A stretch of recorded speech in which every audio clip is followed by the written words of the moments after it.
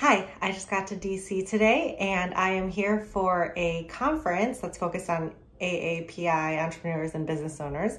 But I also had a friend ask me to try on a few dress samples. So I also checked a bag and flew with some of our dress samples.